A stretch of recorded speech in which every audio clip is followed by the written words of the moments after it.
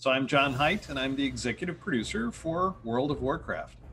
And I'm Brian Birmingham. I'm the lead software engineer on WoW Classic. So, uh, first off, I'd like to talk to you guys about how fast you've seen people progress in World of Warcraft Classic, and if that pace met or succeeded your expectations. Oh, I, think, I think it absolutely exceeded. Um, but you know, we all knew that that people having the benefit of the internet and you know the generation before them uh, had worked out a lot of, of mechanics and ways to, to, to level up. We knew it was going to be a pretty much faster experience, but I think it still exceeded our expectations. Yeah, I was going to say the same thing. Like we had a little bit of a bet before Classic came out about like how long it would take to kill Ragnaros the first time, and the the range was between one and three weeks, and I was the outlier at three weeks, which was completely wrong. Right, that was way too long. and it was, uh, but we all knew it would be fast. It was, uh, it was something where we were expecting that with the benefit of all of the experience and and uh, knowledge that people have gained over 15 years, that of course they would do better than they had originally, and uh, and of course that was true. It was just even more so than we realized. Yeah, it's funny because uh, uh, Burning Crusade, I remember picking that up at a game store, physical copy, and getting home. By the time I installed it, there were already websites reporting on people hitting max level. I was like, how? How is that physically possible? I know it's amazing.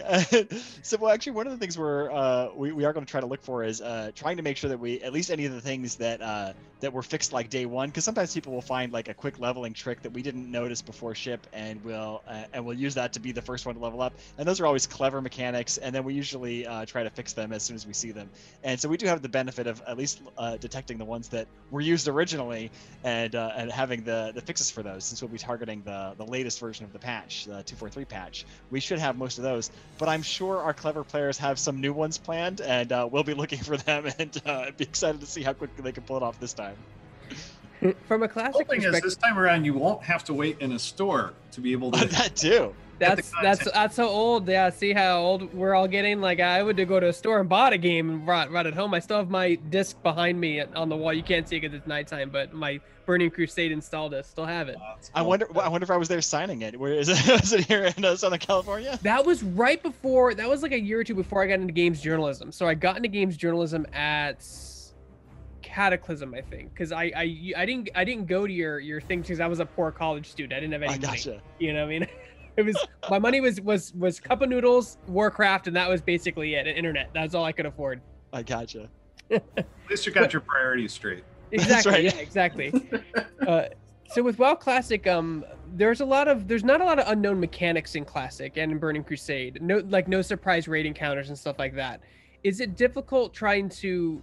Is that what what poses a challenge in that, designing that, uh, knowing what players are expecting, and do you often want to change those so they are surpri- surprised. I think there there are times where some players would like for us to change it, but I think that's part of what makes it fun, right? It's it is a very social experience about uh, you know us against this really pretty challenging environment, and I think the fact that the mechanics are pretty well known uh, means that it's all about our execution together and you know getting together and doing doing this you know, this thing.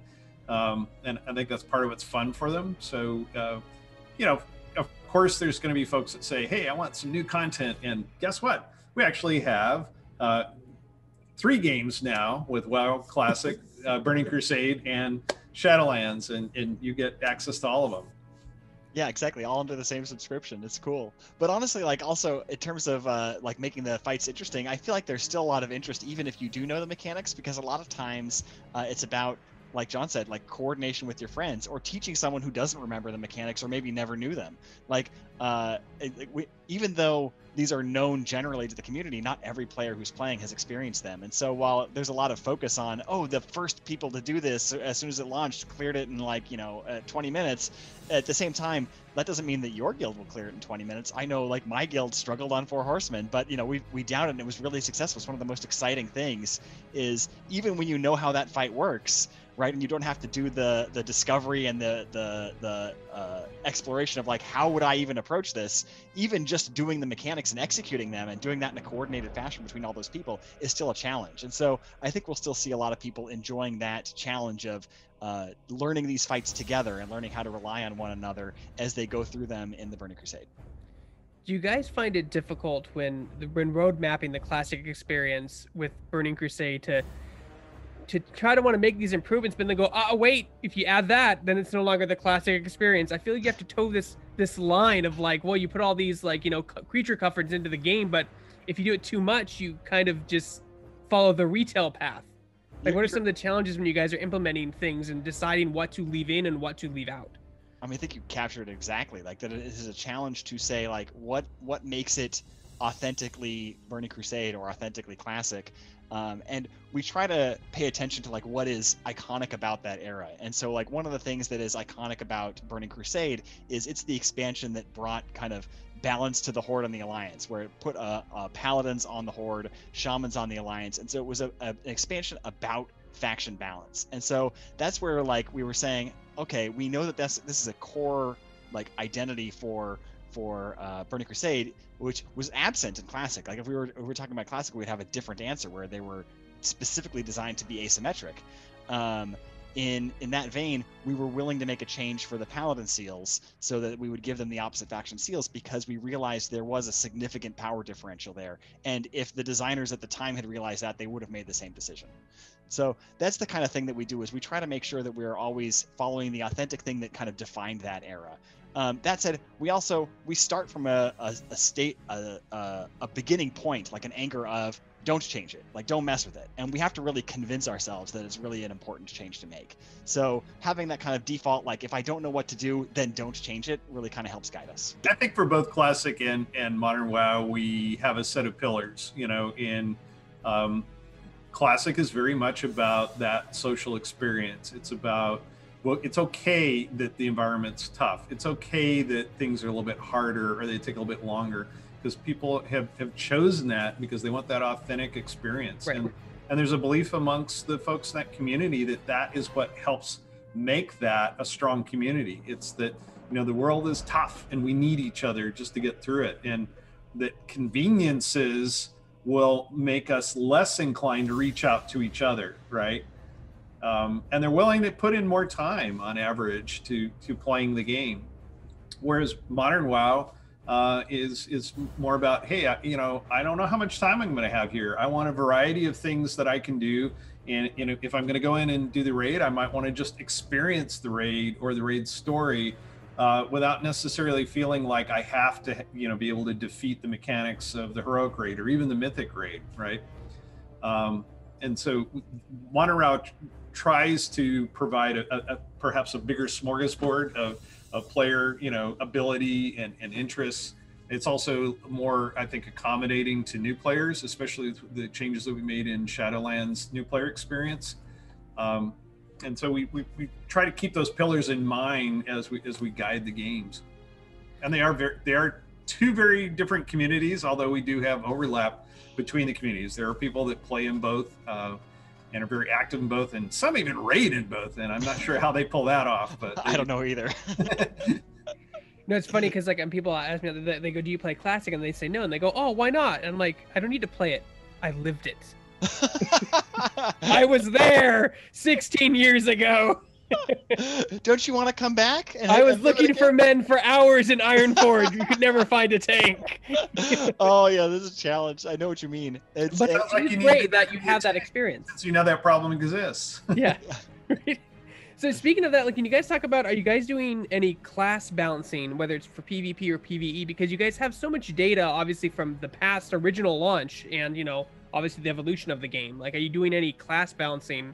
From Burning Crusade that's different from the original classic experience. Well, I did already talk about the Paladin seals and how we were willing to make that change, but other than that, we're trying not to. Like the intention is to try to, much like we did with Classic, pick what we think is the final state of that expansion. So two, four, three in this case, much like we chose 112 right. for uh, for Classic, and like use that as like this is where the balance ended up. This is where at the end of the expansion the designers of that expansion believed this was the correct balance. And so we're going to use that as our target and launch with that and keep it throughout the expansion.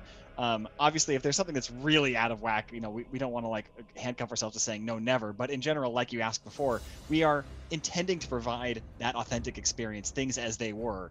And we want that we want that to feel correct you know, again, it's back to we don't want to really mess with this stuff. People came to expect it. You know, there's also a lot of stuff out on the internet that can help them that will tell them, you know, here's. I, I think that we do reserve the right if there's a particular encounter that you know just is not at all useful to have a, a particular spec or class, we might make some tweaks so that you know everyone is is viable, you know, for for a raid or a dungeon. But it's going to be very very minor if we do anything at all. Right. A good example of that, where we like made that decision was uh, we talked about this in the deep dive panel that uh, M'uru is going to be uh, launched without the spell pushback mechanic. We're going to keep that nerf because it was so exclusionary to casters. But at the same time, we are going to have like a pre-nerf version that has the higher health pool, so you can try that harder challenge, but without the kind of exclusionary ability that was present. Yeah, I feel like that's that's the you guys are walking a really tightrope, really of balance. yeah. What you do, because you know, like there are the players, and the the class community is very loud.